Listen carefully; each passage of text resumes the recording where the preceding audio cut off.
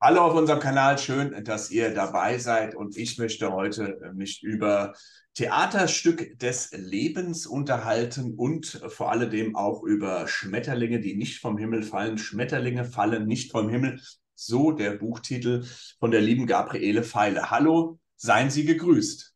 Ich grüße zurück, hallo. Ja, hallo, ich spreche nach. Wir sind hier in Bad Vilbel und Sie sind gerade in Ellwangen. In Elmar. Ach, da war ich, ja. glaube ich, auch noch nicht. Oh, schön. Ja, so heißt Ihr Buch. Ähm, Schmetterlinge fallen nicht vom Himmel. Wie ist es dazu gekommen? Warum? Wie kamen Sie auf den Titel und worum geht es da? der Titel kam zu mir. Während ich geschrieben habe, hat sich der Titel plötzlich gezeigt und der ging nicht mehr weg. Also wurde das der Buchtitel und der Verlag hat zugestimmt. Gott sei Dank. Und da gibt es ja auch noch einen Untertitel, der heißt, wie ich den Sinn des Lebens suchte und meine Lebensaufgabe fand. Und das erklärt dann auch, worum es geht im Buch. Und im Endeffekt ist es so, dass ich, ähm, wie so viele von uns, das Jahr 2020 sehr intensiv erlebt habe ähm, und tatsächlich wirklich wahrhaftig und auch körperlich gespürt habe, wie ich aus meinem Kokon geschlüpft bin, in dem ich schätzungsweise zehn Jahre verbracht habe und der Schmetterling wurde, der ich eigentlich schon immer war. Und äh, ich habe eben festgestellt, dass ein Schmetterling nicht vom Himmel fällt und zwar in doppeldeutigem Sinne. Ja, also er ist nicht einfach da, sondern er muss durch diese ganzen Phasen durchgehen, von der Raupe in den Kokon und wird dann erst zum Schmetterling. Und wenn er dann aber fliegt, dann fällt er nicht. Ja, sehr spannend und wir, wir wissen es gar nicht, ob, der, ob die Raupe weiß, wohin die Reise geht und wir wissen es auch gar nicht, ob der Schmetterling sich daran noch erinnert, dass es mal die Raupe Nimmersatt war. Daran erinnere ich mich immer, weil man, yeah. da habe ich immer mit meinem Sohn damals geguckt. Ja, genau. Nimmersatt.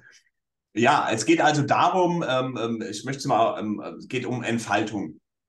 So kann man sagen. Es geht um Entfaltung, um Selbst, Selbstfindung, nenne ich eigentlich. Das ist eigentlich das mhm. richtige Wort. Also nicht unbedingt Selbstverwirklichung, sondern wirklich Selbstfindung, weil wir ja, wenn wir zur Welt kommen, jetzt im, im, im wirklichen, im menschlichen Sinne, sind wir mhm. ja schon jemand. Und im Laufe der Jahre das haben wir alle erlebt, werden wir irgendwo in Schubladen gepresst, wir werden normiert und so weiter und wir verlieren dieses, dieses ursprüngliche Sein. Und durch diese Transformation, ähm, die ich ja so schön finde mit dem Schmetterling, finden wir wieder zu uns zurück, zu dem Wahr-Ich. Mhm. Für wen, welche Zielgruppe, sage ich mal so, ist das, ist das Buch gemacht? Ist es eher für, für Menschen, die, sage ich mal, wo der Raum schon sehr dunkel ist? Oder ist es für, für, für jede Frau und jede Mann, andersrum, für jede Frau und jeder Mann?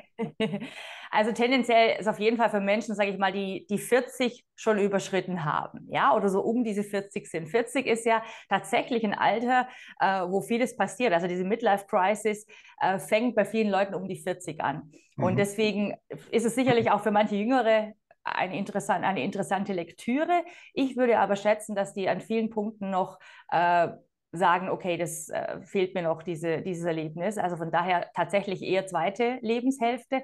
Und ja, schon für Menschen, die sich mit vielen Themen, die sie selber betreffen, schon auseinandergesetzt haben. Also wer jetzt noch, ich sage es jetzt mal so, wer jetzt immer noch in diesem Raupendasein ist und sich da noch nie Gedanken drüber gemacht hat, der wird vermutlich etwas überfordert sein. Mhm. Okay. Wie war das persönlich? Ähm, ähm, warum beschäftigen Sie sich mit Sinnfindung oder mit, äh, mit diesen äh, Sachen? Hat das ein, gab es da einen Auslöser für oder mehrere oder äh, mhm. wie ist das mhm. passiert? Also, dass ich mich mit Sinnfindung beschäftige, das kann ich gar nicht so genau sagen. Das ist einfach Teil meines Lebens. Ich reflektiere gerne, wenn man das so sagen kann. Und diese Selbstreflexion ist eben ein großer Teil davon. Also ohne, ohne diesen Spiegelblick funktioniert es nicht. Und ich habe schon tendenziell immer mich sehr gerne mit meinem Innenleben beschäftigt. Vielleicht kommt es daher, mhm. dass ich trotz meiner Gesprächigkeit eine introvertierte Persönlichkeit bin, also die einfach äh, viele Sachen in Verbindung mit sich selber bringt und da mhm. auch Sachen, die ich erlebe, Dinge und dann verarbeite ich die. Von daher war das irgendwo ganz logisch, ja. Mhm. Und dann, das können bestimmt viele auch nachvollziehen, wenn dann einfach das Leben einem immer wieder neue Herausforderungen bietet und so Brüche auftreten. Also heutzutage ist ja so ein Bruch ganz oft ein Burnout zum Beispiel. Das mhm. betrifft ganz viele Menschen. Mhm. Krankheiten und so weiter. Und auch solche Sachen sind mir natürlich passiert. Und dann fragt man sich, oder ich habe mich gefragt, okay, wofür war das jetzt wieder gut?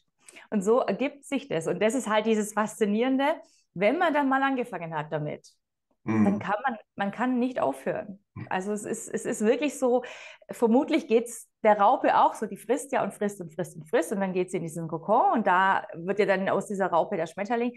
Und ähm, es ist ganz, ganz schwierig, diesen Prozess zu unterbrechen, wenn man diesen Schwung hat.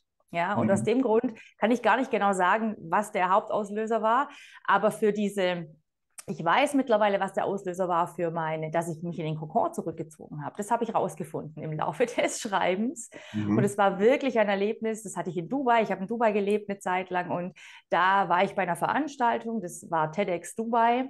TEDx ist bestimmt für jeden Menschen ein Begriff. Also Technology, Entertainment und Design. Das sind diese äh, großen Veranstaltungen, die es ähm, äh, gibt, wo eben Inspiration verteilt wird oder Ideen, die es wert sind, geteilt zu werden. So ist eigentlich der Slogan. Mhm.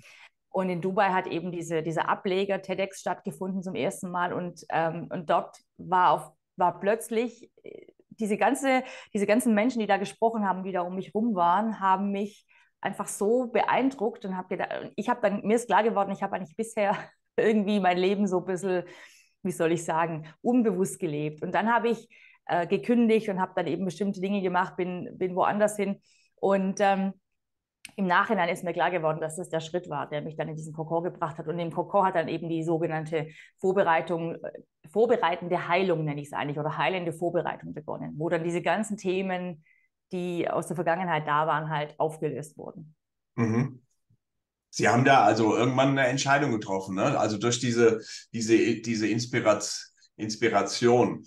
Ja, mhm. Ähm, mhm. jetzt haben ja auch ganz viele Menschen irgendwie immer so eine eingebaute Handbremse ne, mhm. in sich, ne? weil wir bestehen ja, äh, wie wir wissen, aus äh, Mustern und Prägungen und ja. so weiter. Und jeder ist da ja, ist da ja unterschiedlich. Also wie ich persönlich habe so die Erfahrung gemacht, eines von diesen meist äh, verbreiteten äh, Prägungen sind, ist ja, ich bin nicht gut genug, ne? Ja. Für das hält, das hält ganz schön auf, ne? Also mm. unser Selbstwert, äh, äh, Wertgefühl. Ja. Wie, wie, wie, kann, wie, ähm, wie, wie kann man denn daraus gegebenenfalls, wenn man das hat und ähm, mm. sich da nicht raustraut, ähm, dann mhm. trotzdem zum Schmetterling werden? Das war jetzt eine schwere Frage. Das ist eine extrem schwere Frage. Und genau wie Sie es gesagt haben, wir sind ja alle unterschiedlich. Und das, es wäre schön, wenn es da so einen Plan gäbe, gell? Und dann mhm. sagen wir so, lies diese zehn Punkte und folge denen und dann wirst du zum Schmetterling. Das klappt leider nicht. Also ich habe da auch kein Geheimrezept. Ähm, ich sage aber, was ich vorhin schon kurz angedeutet habe, wenn man sich in kleinen Schritten traut, mal zu sagen, okay, ähm, jetzt, ich bin vielleicht, oder ich glaube, ich bin nicht gut genug, aber ich traue mich jetzt mal eine Kleinigkeit und ich merke dann, oh, das hat ja gereicht. Die Leute äh, glauben eben nicht dasselbe wie ich, sondern sie finden das gut, was ich mache. Dann traut man sich auch im nächsten Schritt vielleicht einen größeren Sprung zu machen. Ja? Und mhm. so geht es einfach nach und nach, wie so ein kleiner Domino-Effekt. Und äh, natürlich ist es so, dass, dass jede Person für sich erstmal beginnen muss selber. Also es wird, es klappt nicht, äh, dass jemand anders sagt, komm, ich nehme dich mit. Das funktioniert leider nicht. Also mhm. man braucht ein bisschen Mut, und der wird dann immer größer, je weiter man kommt. Und helfen tut natürlich, wenn man so Gleichgesinnte findet, also Menschen, die einen da auch unterstützen, so Weggefährten. Das, das passiert uns ja allen, dass jemand mhm. auftaucht und die Person sagt vielleicht einen Satz und man sagt, oh wow, großartig, ja. Äh, daran kann ich mich jetzt weiterhandeln. So ging es mir eben bei dieser Veranstaltung, wo da so Leute mhm. standen und die haben alle von ihrer Leidenschaft gesprochen und so. Und das hat dann, das hat dann was ausgelöst. Und ich denke, dass wir so ein bisschen die Sensibilität dafür brauchen und das auch wahrzunehmen. Mhm. Ja, und nicht zu sagen, ach, okay, jetzt war ich bei einer Veranstaltung abgehakt, next. Ja, mhm. sondern wirklich auch reflektieren. Ja. Dieses Reflektieren und zu fragen. Und dann gibt es ganz viele Methoden, um solche mhm. äh, Glaubenssätze dann aufzulösen. Da möchte ich gar nicht mich für eine aussprechen, weil da hat jede und jeder dann so, so ihren oder seinen, seinen Weg, der sich am mhm. besten eignet. Ja. ja, Sie haben das eben schön gesagt. Bei Ihnen war das ja auch diese fette Inspiration, sage ich mal so. Und mhm. äh, da war die Neugierde auf diese und die Kreativität auf einmal größer als die Angst. Ne? Und das, dann fangen wir ja an, uns zu entwickeln. Das war ja damals, Sie erinnern sich, als wir noch in der Höhle gelebt haben, ne? ähm, war die Neugierde für den größer rauszugehen und größer als die Angst. Und dann ne, hat das. Voilà. Manche haben es dann doch nicht geschafft, haben die Keule von irgendjemand auf den Kopf bekommen. Ja, Ja. Und die anderen drin haben es gesehen, haben gesagt, oh, da gehe ich lieber nicht raus. Ähm, ja. Aber es gab immer einen, der, der war neugieriger. Und das ist ja als Menschen, glaube ich, so fest verankert, diesen unbändigen Willen zu uns zu entwickeln. Ne? Ja, genau, genau. Und dieses Entwickeln, kann man ja unterschiedlich interpretieren und für mich ist es halt entwickeln. Also ich genau. entwickle wirklich das, gell? Und nicht dieses, ja. ich muss noch mehr, noch mehr, noch mehr haben, sondern es geht wirklich darum, diese Schichten loszuwerden. Das finde ich ein schönes Bild. Hm. Äh, was was äh, Sie gesagt haben, Sie sind ja eigentlich total introvertiert, wie, wie man merkt. ähm, äh, Sie sind aber auch ähm, ähm als Botschafterin unterwegs, äh, wie ja. ich äh, recherchiert habe.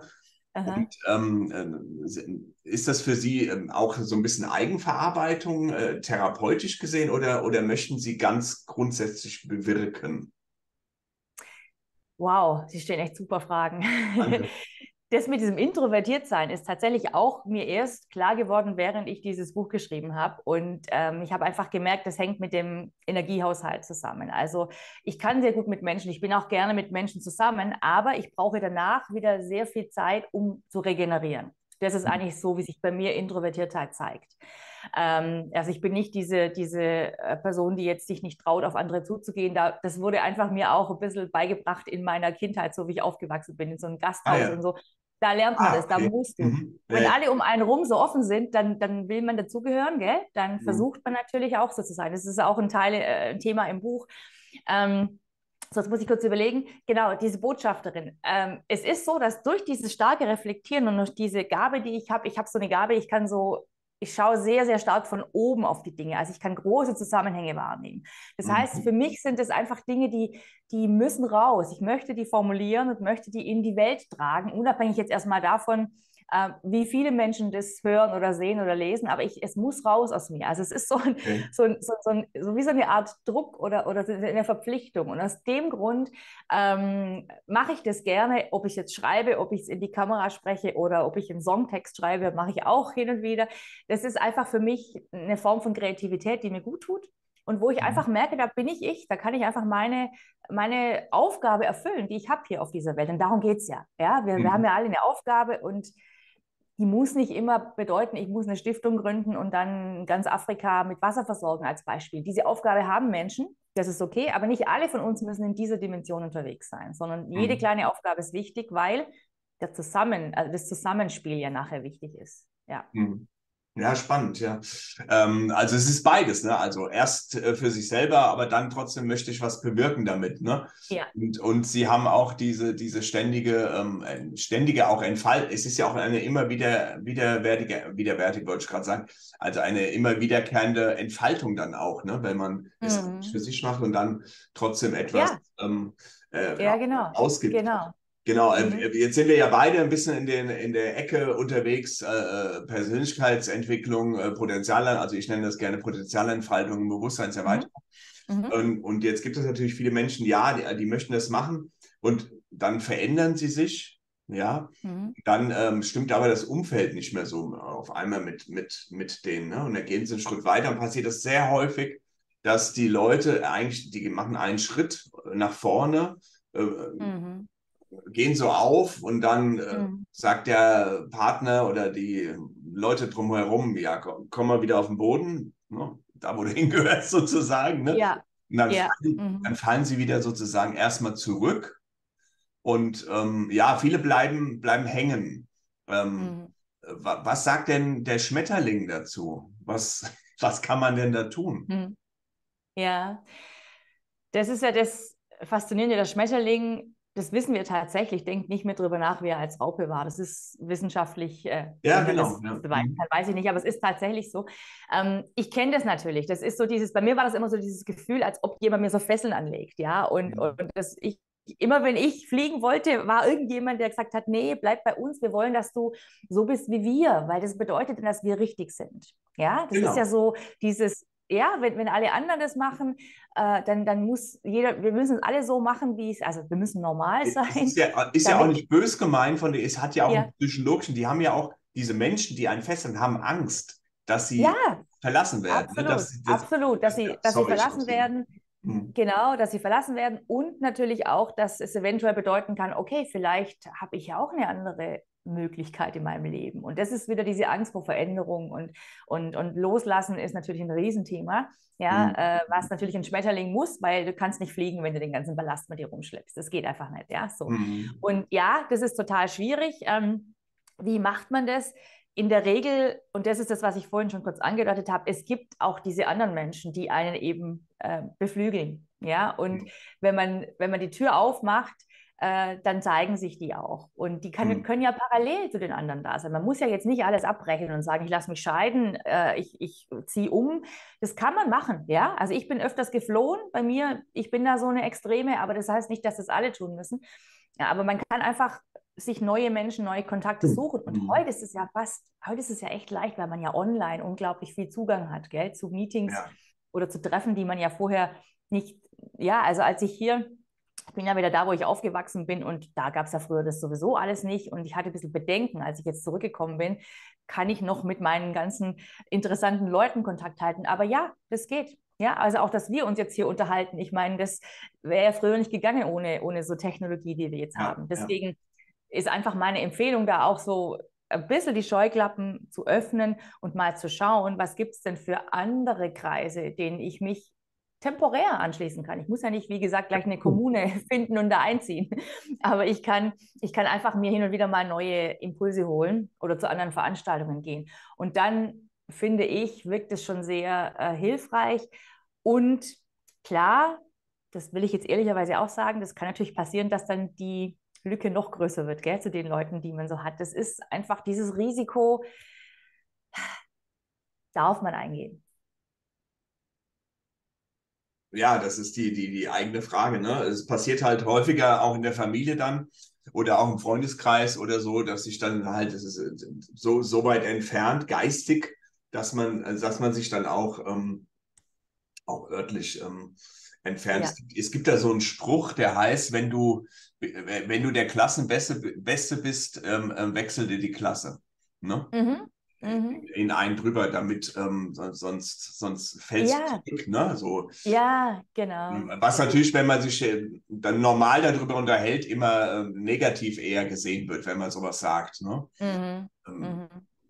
Ja, weil wir ja nicht gelernt haben, uns selber als der oder die Beste zu bezeichnen. Gell? Das ist ja das sowieso, ja, um Gottes Willen. In vielen Fällen schon wieder ein Problem. Gell? Arrogant, aber das geht nicht. ja, genau, genau. Und ja. dieses Selbstlob und so, das sollen wir ja nicht. Ähm, ja. Aber das kann man ja für sich entscheiden. Man kann ja sagen, Mensch, ich komme hier nicht weiter, ich fühle einfach, dass ich hier nicht nichts lerne. Ja, und man lernt ja eher von Leuten, die mehr wissen als man selber. Ja, das ist, das ist richtig, ja. Ja, ähm, was, was kommt denn eigentlich nach dem Schmetterling? Also, ich meine, jetzt haben das Buch Schmetterling ist jetzt draußen. Mhm. Gibt's, wird es da noch einen, einen zweiten Teil, eine Steigerung äh, geben oder äh, wo, wo, geht, wo geht die Reise hin? Also vom Schmetterling wird es vermutlich keinen zweiten Teil geben. Es gibt halt nun mal nur den Schmetterling. Der entwickelt sich ja dann nicht mehr in eine neue Form. Der Schmetterling, und das ist halt das, wo, glaube ich, viele auch Angst davor haben könnten, dass man, das fühlt sich so an, als ob dann nichts mehr passiert, ja, weil man ist dann ja durch. Also ich sage ja immer, wenn man sich vollkommen selbst gefunden hat, dann, dann lebt man. Und das mhm. heißt, das ist aber nicht so. Also es passieren immer noch Dinge. Also ich habe immer noch Herausforderungen im Leben. Nur, das möchte ich einfach allen sagen, das ist viel leichter, die zu lösen. Also durch diesen ganzen Ballast, der nicht mehr da ist, ist ich weiß, ah, okay, jetzt kommt wieder dieses Thema. Mhm. Kommen ja immer die gleichen, gell?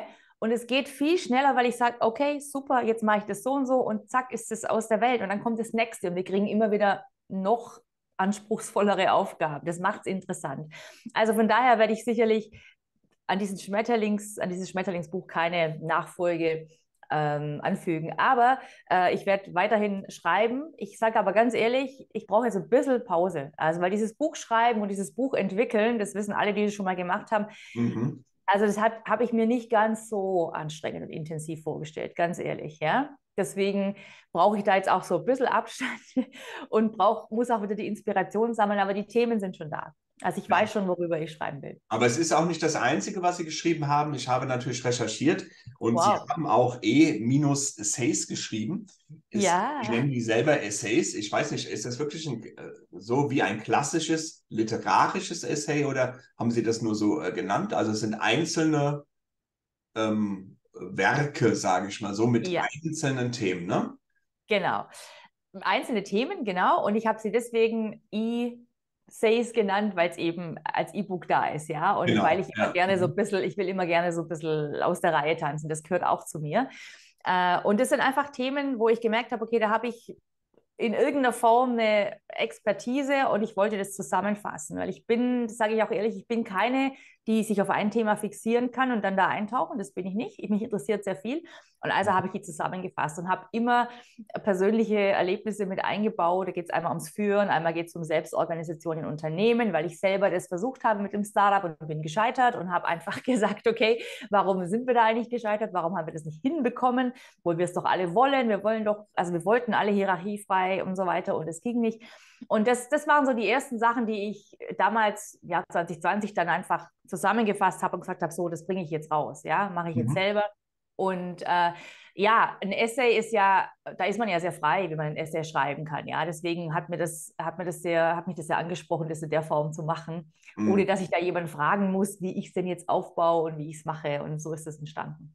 Genau. genau, da kann man machen. Eigentlich heißt es, glaube ich, sogar ist äh, ein Versuch, genau. Essay ja. ist, glaube ich, übersetzt ein Versuch. Und deswegen, da kann man auch, äh, ähm, ne, also kann man auch seine ja. eigene Meinung und so reinbringen. Genau. Das ist genau. ja auf jeden Fall gut. Aber Sie sind jetzt nicht nur am Schreiben gewesen oder am Schreiben und ähm, sondern Sie sind natürlich auch am, am Sprechen und am Aktivsein. Ich mhm. habe vorhin schon gesagt, Sie sind eine, in der Tat wirklich eine Botschafterin. Mhm. Und ähm, ja, und äh, da kann man sie auch buchen als Botschafterin, ne? wenn ich das richtig verstehen, verstanden habe. Und zwar in, als Unternehmen, als äh, Institution oder whatever. Genau. Und, ja. ähm, ähm und welche Botschaft geben, geben Sie die Botschaft weiter oder ähm, verschiedene Themen oder also ich, ich bin ganz ehrlich, ich bin ganz ehrlich, das ist jetzt kein Bereich im aktuell in meinem Leben, der jetzt floriert, weil ich mit meinen Botschaften tatsächlich ähm, meistens so ein bisschen voraus bin. Ja, also ich, das ist so, gehört auch zu meinem Leben dazu, wo ich sage, äh, die Themen, die ich da ähm, in die Welt bringe, ähm, sind oft noch nicht die Themen, die gerade sich im Mainstream befinden. Ja, und das dadurch. Ähm, ich mag den ja, Mainstream nicht. Deswegen ja, ist es gut. genau, ich finde es auch sehr gut. Äh, das bedeutet aber im Umkehrschluss, dass ähm, natürlich, äh, ich sage jetzt mal ein Beispiel, ähm, das Thema New Work habe ich schon vor vielen Jahren intensiv, ähm, ja, wie soll ich sagen, bearbeitet vielleicht und äh, habe mich auch wirklich, habe auch direkten Kontakt zu, zu, zum äh, zu Friedhof Bergmann und seinem Team gehabt und so weiter. Und für mich war das irgendwie klar, weil ich das aussehen muss, habe das auch stark äh, bei mir in Fokus gesetzt. Und damals waren die Leute aber noch nicht so weit. Jetzt ist New Work in aller Munde, aber die haben das komplett, es wurde komplett äh, umgewidmet, sage ich jetzt mal, ähm, mhm. weil, weil die Leute was anderes darunter verstehen. Und dann ist es halt schwierig, wenn ich daherkomme und sage, ja, aber wisst ihr nicht, dass eigentlich New Work bedeutet, wir arbeiten nur noch ein Drittel als im Angestellten-Dasein, ein Drittel ist Selbstversorgung und ein Drittel heißt eben, äh, wir entwickeln uns. Ja? Mhm. Und das sind so Dinge, wo ich tatsächlich immer meine Grenzen stoße. Da bin ich ganz ehrlich. Das ist ja. so oft schwierig. Deswegen sage ich das auch ganz offen. Aber Sie eröffnen ja einen Debattenraum damit auch, oder? Absolut, absolut. Also ich würde mich sehr freuen, wenn dieser Bereich tatsächlich auch äh, anfängt, sich zu entwickeln, weil ich bin bereit dafür. Und es wäre ganz toll. Deswegen danke, dass Sie das auch ansprechen. Äh, das ist tatsächlich aktuell nicht mein Fokus. Ich habe ja, äh, bin ja mit der Schmetterlingsfrequenz, die ich ja entdeckt habe, schwerpunktmäßig aktuell unterwegs und mhm. ähm, da bin ich eben eher diejenige, die für Menschen dann also Sachen anbietet, also nicht für Unternehmen, sondern wirklich für okay. Menschen, ähm, wo die Menschen dann mit mir eben hauptsächlich online in Online-Kursen dann äh, auf dem Weg zum Schmetterling sich bewegen können. Da habe ich jetzt vor, ich mache jetzt im Sommer äh, eine kleine, kleine Auszeit im Kloster und dann werde ich ähm, hoffentlich den richtigen Input kriegen, um dann ab September einfach da ein ein Programm zu haben, wo ich sage, ja, das passt jetzt auch für die Menschen, ähm, die, sage ich mal, in ihrem Kokon schon sind und einfach diese, diesen Mut noch brauchen, rauszugehen. Ja, das ist eigentlich momentan mein Sehr schön. Ich möchte das Wort auch nochmal sagen, Schmetterlingsfrequenz. Vielleicht ist das für den Algorithmus gut. genau. Ich möchte aber ganz kurz bei der Botschafterin äh, da noch bleiben. Finde ich auch gut ähm, mhm. äh, ähm, kann man ja vielleicht irgendwas aufmachen äh, unter dem Motto Zukunft neu denken oder ähnliches. Ja, Wenn ja, Sie sagen, genau. Sie haben die Erfahrung gemacht, Sie waren immer schon da und die anderen waren noch in der Höhle. Das übertreibt jetzt ein bisschen. Sorry. Ja, ja, ja. ja, ja. Ähm, da kann man natürlich auch ähm, ein paar Themen aufmachen. So in, in mm. dem Bereich finde ich, find ich auf jeden Fall ähm, sehr, gerade in der heutigen Zeit, muss ich das mm. noch mal mhm. sagen, wo wir gerne, mm. wo das, auch der Mainstream gerne einfach äh, wirr Narrativen hinterher rennt, ne, ja. äh, finde ich das auf jeden Fall ähm, sehr, sehr, sehr spannend, ja. Absolut. Also ich bin da auch davon überzeugt, dass wir das brauchen. Wie Sie sagen, gerade jetzt, ja, mhm. wo einfach äh, die Welt auch in so einem Status ist, der uns auch alle irgendwie überfordert, die, jeden und jede von uns anders natürlich, ja, je nachdem, wo wir stehen. Aber ähm, es ist schon eine komplexe Welt und ein, ein unglaublicher Druck. Und ich habe auch den Eindruck, dass es, nachdem die Pandemie dann irgendwann zu Ende war, fast noch stärker ähm, äh, geworden ist vom Druck her, als es vorher war. Also das ist, also das Tempo ist noch höher, ist so mein Eindruck, ja. Was vielleicht daran liegt, dass wir vorher nicht genug gemacht haben in den verschiedensten Bereichen oder so, ja? Äh, äh, ja, das Warum, Weshalb, Wieso werden wir sowieso nur eines Tages im Rückblick wieder ähm, schauen ja, ja, genau, und genau. rauskriegen können. Das ist richtig, ist die Zeit, ähm, die Zeitqualität hat sich verändert, die Wahrnehmungen haben sich verändert, die Werte verändern sich gerade und äh, mhm. die Menschen sind ähm, auch äh, natürlich, der eine Teil äh, ist sehr orientierungslos, ne? Und mhm. ähm, dann herrscht noch ganz viel die Angst und diese verschiedenen Ängste vertragen sich ja nicht so miteinander. Deswegen äh, können die auch nicht so gut miteinander debattieren, die Menschen. Ne? Also das ist ganz weit verbreitet, ja. Und jeder mhm. weiß gar nicht so, ja, was ist denn jetzt? Was soll ich denn? Ne? Kaufe ich mir einen Diesel oder nicht? Ja, ja, genau. Ja, ne? das ist, ja. Es ist ganz spannend, ja. Es ist spannend, weil es auch mit Verantwortung zu tun hat. Einerseits ähm, wollen die Menschen natürlich frei entscheiden können, was ja auch gut ist, das ist auch richtig. Mhm. Gleichzeitig heißt es aber auch, da kommt eine Verantwortung damit. Gell? Also je nachdem, ja. wie ich mich entscheide, muss ich die Verantwortung dafür ja. tragen. Und da glaube ich, ähm, hapert es dann häufig, ja, äh, weil wir das auch nicht gelernt haben, so wirklich, ja, für meine Entscheidung Verantwortung zu mhm. übernehmen. Mhm. Ja, und die Gräben sind halt auch gerade groß, weil ähm, die Spaltung ist ja gerade groß. Ob das äh, kann auch gewollt sein. Darauf wollen wir jetzt nicht eingehen. Ja. Ähm, ähm, aber der Unterschied, ich unterhalte mich ja mit ganz vielen Menschen. Ähm, Sie, Sie, haben glücklicherweise gesagt, ab 40 bis da ist meine Zielgruppe. Das ist ja noch einfacher. Aber wenn Sie jetzt mal zurückgehen, ja, die neuen Generationen, die, äh, das ist ja, die haben ja ganz andere Werte auf einmal, ne? Je nachdem, in welcher Bubble, in welcher Blase sie gerade unterwegs sind. Ne? Also es ist sehr, sehr breit und sehr komplex, wie Sie gesagt haben. Und mhm. ja, gibt viel zu tun für Schmetterlinge, auf jeden Fall. Absolut. Und das, das ist eigentlich eher auch der Grund, warum wir unbedingt mehr Schmetterlinge brauchen, weil der Moment, äh, in dem Moment, wo die Menschen bei sich ankommen, sind sie ja in ihrer Kraft und können eben das tun, wofür sie hier sind. Also jetzt mal wirklich philosophisch gesprochen. Mhm. Und dann ergibt sich, dann kommt diese Balance, kommen wir dieser Balance näher. Ich, hab, ich kann jetzt nicht sagen, wann die Welt in Balance sein wird, aber meine Vision ist eine Welt in Balance. Und Visionen müssen ja größenwahnsinnig sein. Und deswegen brauchen wir einfach mehr damit, von, damit diese Menschen, die, die einfach auch in sich ruhen können und nicht so, so irritiert sind und so unschlüssig, die brauchen wir einfach, weil die natürlich mhm. auch als Vorbilder dienen. Ja? Und denen können andere auch wieder folgen. Das ist wirklich wichtig. Und da geht es nicht um äh, politische Führung oder so. Es geht einfach um Vorbilder im täglichen Leben, sage ich jetzt mal. Ja? ja? Wo man sagt, hey, wir, wir können es auch anders machen und äh, wir brauchen diesen Stress nicht. Also diese Dramen, die wir häufig selber machen, gell? Mhm. die sind als auf der Schmetterlingsfrequenz äh, ich will nicht sagen gar nicht vorhanden, aber sie, sie, sie gehen sehr schnell vorüber. Ja, also das ist immer kurz, die kommen kurz und dann sage ich, okay, gut, alles klar. Was machen wir jetzt? Fange ich jetzt an, darüber mich aufzuregen, mich reinzusteigern? Mhm. Oder sage ich, alles klar, so ist es. Und wie kann ich jetzt einfach trotzdem weiterfliegen? Weil ich habe ja als Schmetterling nur die Aufgabe, Blüten zu bestäuben, sage ich jetzt mhm. mal. Ja? Also ja. und ich, ich fliege von Blume zu Blume und bei dem Fliegen bin ich eigentlich auch dabei, einfach meine Aufgabe zu erfüllen. Mhm. Und ähm, das, deswegen ist es wirklich eine Zeit, wo es wichtig ist, dass wir mehr Menschen, dass mehr Menschen zu sich stehen auch. Ich glaube, darum geht ja. es. Also auch sich selber erstmal annehmen gell? und sagen, so, so mhm. bin ich. Und ich bin vielleicht anders wie ihr, aber wir sind ja alle anders wie die anderen. Ja, und wir können es wir auch nur durch das Innen machen, weil das Ergebnis ist ja die Außenwelt. Das ist ja das Ergebnis von alledem. Ne? Und ja. deswegen ist es ja so wichtig, dass wir, ähm, dass jeder Einzelne äh, für sich selber. Und das haben Sie ja schön erklärt. Und das Schmetterling, der Schmetterling ist ja auch dafür gut geeignet, weil er fliegt und er fliegt auch äh, relativ hoch. Und, mhm. ähm, und, und, dann be betrachtet man die Welt ja auch anders von einer Höhe. Ne? Also ich sage immer als Beispiel, ich ziehe mich jetzt mal hoch und dann sehe ich ja von oben, ach schau mal hier, Ebbe und Flut passiert ja gleichzeitig. Ne? Mhm. Das heißt, äh, dieses Pendel ist eigentlich ist eigentlich diese Emotion da und ah, ne, eigentlich, es ist nicht so, ne? Es ja. ist anders, es, wenn man es von oben betrachtet, ne? Und genau. dafür ist diese Flugperspektive halt sehr, sehr wichtig und das kann halt ja. Schmetterling, ne? Ja, ja Schmetterlingfrequenz, sehr, sehr, sehr spannend, sehr, sehr interessant. Ähm, ähm, wir verlinken mal Ihre Internetseite, da können die Leute noch äh, schauen, was Sie mhm. so, ähm, warum, weshalb Sie, was Sie treiben und ähm, ja, vielleicht ist das für den einen oder anderen ja interessant. Machen Sie auch so Lesungen? Sieht man Sie da irgendwo oder machen Sie so oder ja, alles in Form? Ich bin, Nein, ich bin tatsächlich auch äh, momentan dabei, unterschiedliche Lesungen zu planen. Die nächste, die jetzt ist erst im Oktober, da bin ich in Gilching, das ist in der Nähe von München, das war mein früherer Wohnsitz. Mhm. Da bin ich im Rahmen der Kunst- und Kulturwoche dort.